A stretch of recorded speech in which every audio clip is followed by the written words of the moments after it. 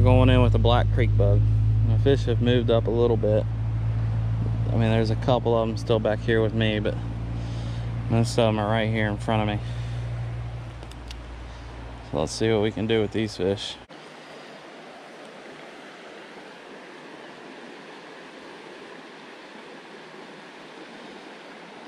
Got him. There he is.